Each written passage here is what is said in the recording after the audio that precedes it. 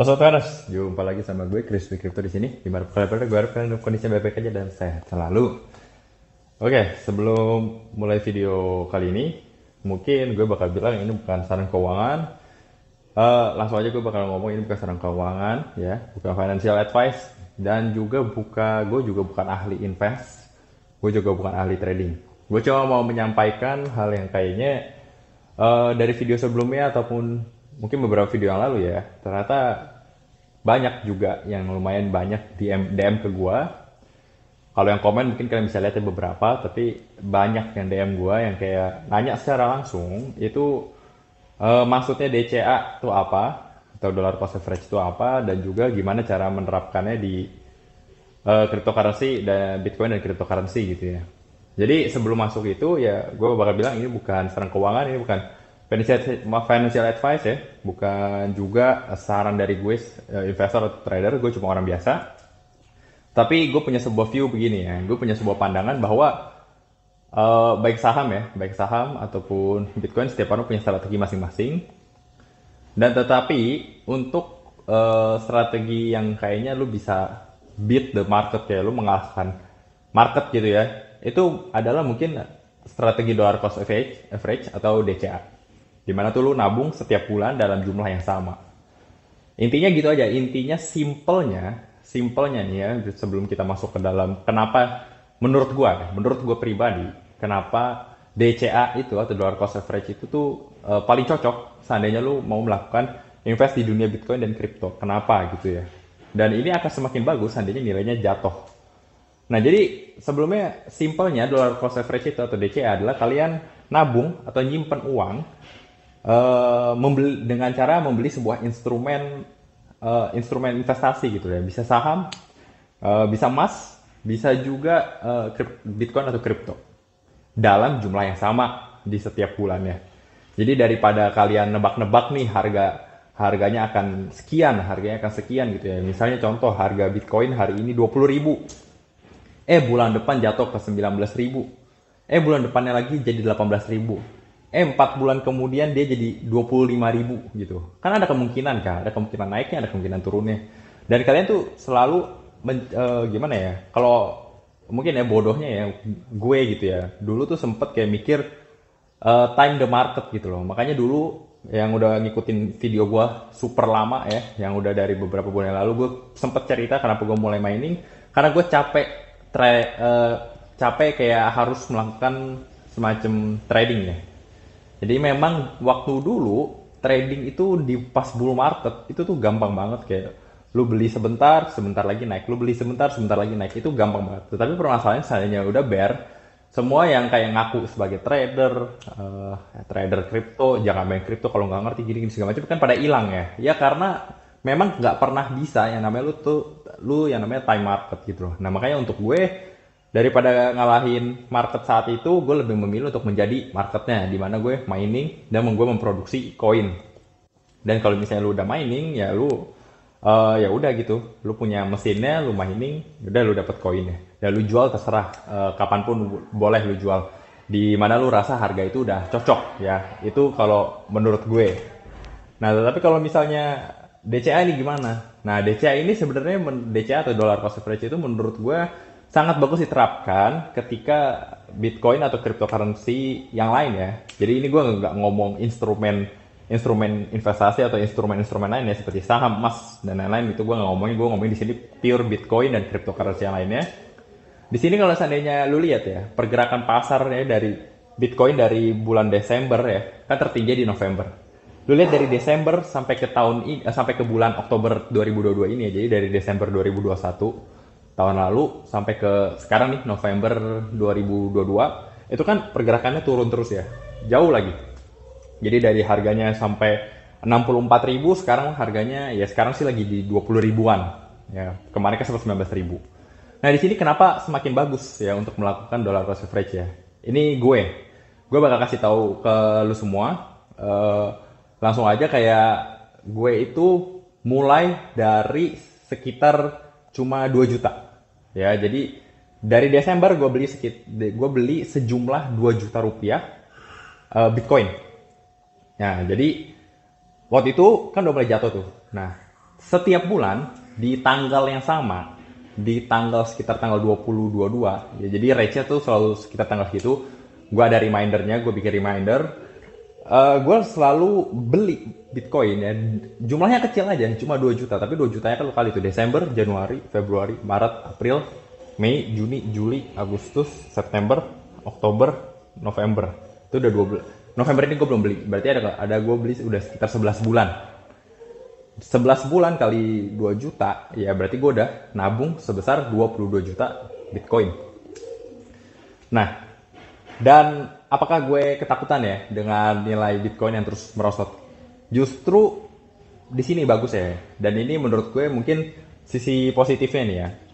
Kalau lu memang untuk hodlnya jangka panjang dan mungkin dalam kasus gue gue ada kemungkinan hodl lebih panjang dari halving. Tapi di sini gue mau lihat dulu apakah setelah uh, pas menuju halving ini harganya akan lebih tinggi daripada 64.000 atau mungkin sam sama di 64.000 ya mungkin momen-momen itu gue akan jual ya jadi bukannya maksud ya bakal greedy ya bakal kayak rakus nih oh lu tunggu all time high baru lu jual nggak juga gue nunggu gue hodl ya sampai waktu yang gue tentukan gitu loh. Nah di sini gue bakal kasih tau aja langsung terbuka sama lu semua. Waktu yang gue tentukan di sini adalah seandainya dia menyentuh 64 ribu atau di atasnya. Jadi yang mana yang mana yang mana gitu loh. Kalau misalnya karena market itu kan nggak pernah ada yang tahu. Nah jadi dalam spend waktu 22 juta ini dalam waktu 11 bulan ini uh, apa gitu ya?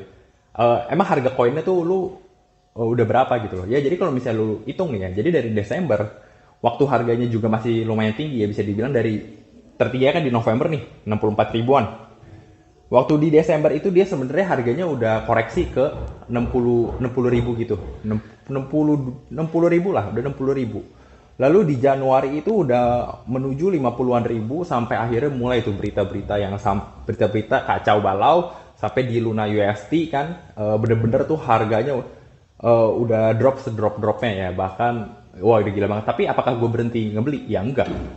Karena di sini semakin murah harganya, 2 juta rupiah itu gue dapet uh, koinnya itu ya semakin banyak gitu loh. Jadi ya tadinya tadinya gitu gue dapet lu lu bagi sendiri aja gitu ya. Gue uh, gini gue perumpamaan ya karena gue lupa gitu loh. Gue dapat berapa? Sebutlah gue dapat di bawah situ tadinya 0,00 tiga gitu. Ya gue makin gue ke sini makin makin murah gue makin dapat 0,02 0,01 gitu. Jadi terus murah murah murah murah. Tapi ya dibagi aja gitu di average aja gitu. Jadi misalnya dalam spend 11 bulan ini ya udah langsung di, di total langsung dibagi aja. Nah itu lu dapat harga lu yang saat ini gitu loh. Harga rata-rata makanya namanya dollar cost average. Ya dibagi tuh di rata-rata average itu artinya. Nah, jadi dari situ sebenarnya apakah bijak gitu ya? Lu melakukan pembelian koin dengan cara DCA? Menurut gua, menurut gua dan ini bukan saran keuangan, gak semua orang bisa ngikutin ini. Dan gak semua orang percaya juga sama Bitcoin. Jadi ya udah lu boleh uh, lihat video ini sebagai uh, patokannya boleh atau mungkin sebagai saran ya boleh juga. Nggak ada masalah ya. Intinya nggak didengerin pun nggak apa-apa. Tapi ini cerita gua. Uh, selama 11 bulan ya udah gue nabung 22 juta dan apakah uh, worth it? Ya menurut gue menurut gue worth it karena harganya lagi murah. Ya kan? Harganya lagi murah. Dan kapan gue akan melakukan, berhenti melakukan DCA nih ya? Nah di sini sih target target gue itu di sekitar 25 atau enggak di 30 ya jadi mungkin gue berhenti di 25 juta mungkin gue berhenti di 30 juta nah Uh, jadi yang mana aja gitu ya. Jadi ini mungkin pas sudah sampai di 25 ya gue pikir oh ternyata gue masih ada uh, dana lebih lagi ya gue bakal tambah lagi sampai ke 30. Nah, tapi di sini jeleknya ya. Jadi ada bagusnya pasti ada jeleknya. Jeleknya DCA itu adalah seandainya lu beli waktu harganya itu terus nanjak, otomatis pembelian lu itu akan semakin mahal. Jadi seandainya seandainya ada orang yang ini bukan gue, gue nggak gue nggak melakukan ini karena gue bener-bener pure melakukan DCA itu bener-bener baru Desember 2021 kemarin. Seandainya lo melakukan DCA uh, eh, terhadap Bitcoin, ya instrumennya Bitcoin atau Ethereum pada tahun 2021, ya kan? Apa waktu eh sorry sorry waktu kalian melakukan 2020 misalnya 20 ke 21, misalnya kalian DCA selama 12 bulan gitu ya atau 10 bulan atau 11 bulan, itu kan harganya nanjak terus, ya kan? Nah kalau misalnya kalian beli terus tiba-tiba dia tiba-tiba dia udah all time high terus kalian beli juga gitu pas pas itu juga. Dan masuk ke tahun 2022 itu terus turun. Kalau misalnya kalian nggak meneruskan pembeliannya lagi ya kalian akan uh, stucknya di situ gitu loh. Dan memang memang maksudnya DCA itu adalah supaya kalian rutin nabung. Tetapi kalau misalnya ngestak di di poin tertinggi ya itu menurut gua jangka panjang akan sangat lama gitu loh. Jadi makanya di sini bukannya gue mau kalian baca market atau gimana ya. Gue juga nggak pinter dalam kasus-kasus baca-baca market. Cuma waktu Bitcoin udah mulai terkoreksi, nah di situlah momen-momen kayak oh yaudah ini waktunya gue mulai beli nih. Dan apakah gue tahu waktu dari Desember, Januari, Februari, Maret, April, Mei itu bakal terus turun Bitcoin? Ya gue nggak tahu, gue nggak tahu. Tapi jujur aja gue punya target, target target beli gue itu adalah sampai di 25. Jadi ya berhubung gue ada uang setiap bulan yang bisa gue sisihkan, ya makanya gue melakukan DCA, uh, eh, DCA atau 2 juta, 2 juta, 2 juta, 2 juta rupiah, 2 juta rupiah, 2 juta rupiah ke uh, platform platform apa namanya platform exchange ya. Dalam ke exchange bisa di Indodax, bisa di toko kripto, bisa juga di di mana pun Zipmax juga bisa atau pintu yang mana aja pokoknya yang kalian percaya tapi ya gue punya 2 juta ya gue sisihkan nah apakah 2 juta itu uh, kayak hurt ekonomi gue gitu, apa, uh, menyakiti ekonomi gue nggak? Seandainya gue sisihkan 2 juta setiap bulan. Dalam kasus gue enggak. Dalam kasus gue memang gue itu selalu punya uh, ukuran atau ukuran tabungan untuk untuk gue investkan. Jadi apakah gue ada di saham? Ada. Tetapi apakah gue beli saham tahun ini? Enggak. Gue nggak beli saham tahun ini. Uh, sama sekali. Terakhir gue beli saham itu ada di tahun lalu. Nah, tahun ini gue nggak beli sama sekali. Jadi memang setiap tahun itu gue set target apa yang akan gue lakukan. Nah jadi untuk tahun ini uh, per November pas gue mulai mining, gue mau fokus ke uh, crypto, crypto dan Bitcoin.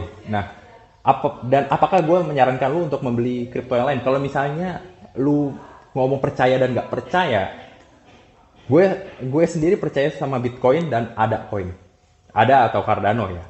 Cardano coin, jujur aja itu gue DCA sampai di 5 juta aja. Jadi uh, nggak nggak berbarengan sama Bitcoin Desember mulai nggak. Gue mulainya sekitar bulan Maret kemarin. Gue sejuta sejuta sejuta sejuta. Jadi total sejak yang bulan Maret itu gue ada beli lima kali lima kali ad, uh, Cardano atau ada coin. Dan kenapa Cardano ini cuma gue beli cuma sedikit ya? Kenapa nggak kayak Bitcoin gitu segede gitu alasan utamanya adalah karena Bitcoin ya koin utama ya. Koin yang kayaknya uh, bapaknya para koin-koin atau ibunya para koin-koin ya Bitcoin. Jadi otomatis gue percaya Bitcoin Toh dia udah jalan dari 2009. Cardano, pertama dia adalah proof of stake.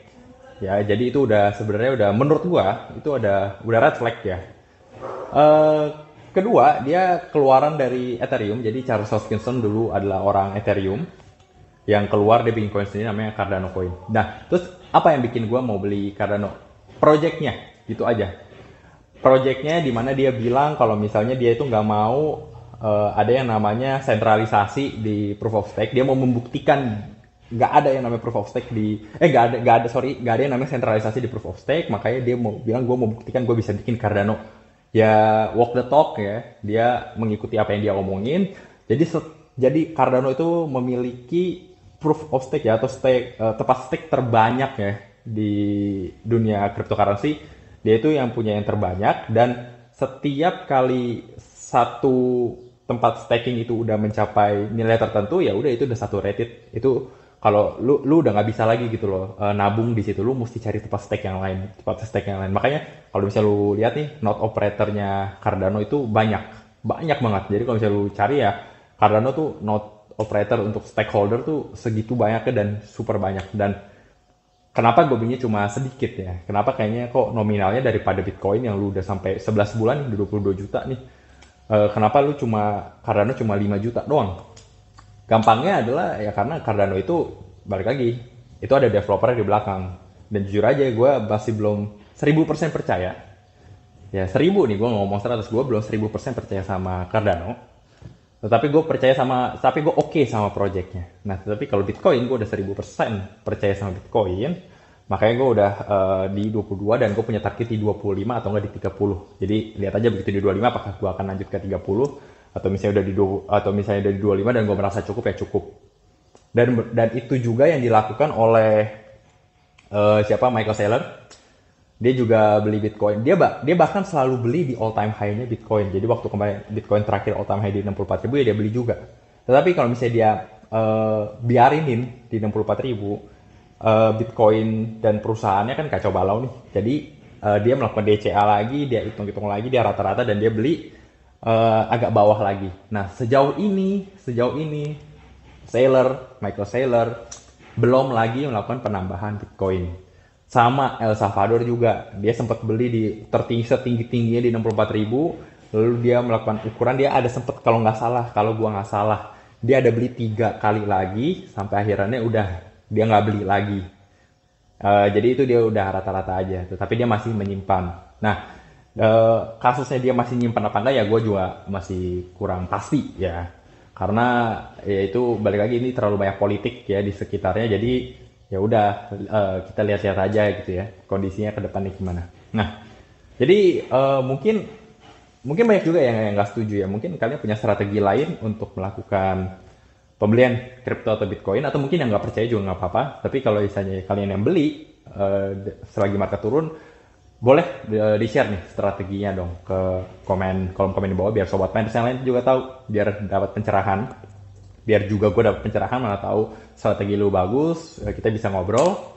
Atau ya kalau misalnya kalian suka video-video kali ini boleh di like jadi gue biar bisa bikin video yang seperti ini juga uh, lanjutannya uh, kalau misalnya suka sama channel gue boleh subscribe oke okay? sampai ketemu di video selanjutnya bye bye manis